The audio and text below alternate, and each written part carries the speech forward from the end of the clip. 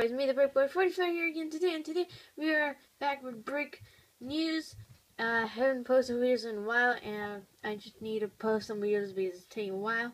And summer's always almost here, so a lot of videos will be videos will be coming out soon. So, Brick News here: the two sets confirmed for the Lego City Arctic sets. This is the Lego City um, ship is called the Icebreaker. As you can see, it's breaking ice. In my opinion, it's kind of like a different version of a Arctic base. You get like the same dogs and another polar bear.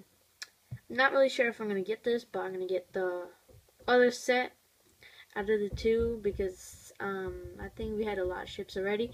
I'm trying to get all the Arctic sets, except maybe this one I might not get.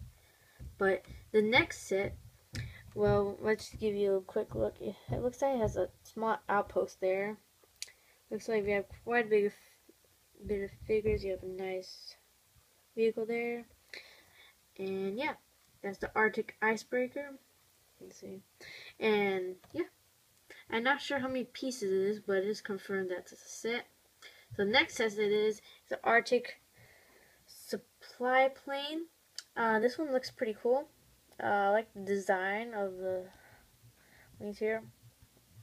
Um, I didn't like the other plane that they include because it's pretty much an alternate version of the like the T-Rex helicarrier thing from the Lego Dino series. Had a nice vehicle here, pretty cool, pretty nice. But I'm not sure for the prices of these two, but they're pretty cool looking.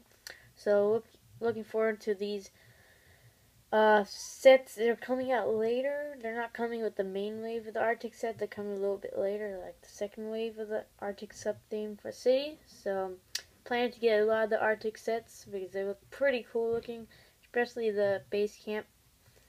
So yeah, this has been the two sets, the Icebreaker and Supply Plane.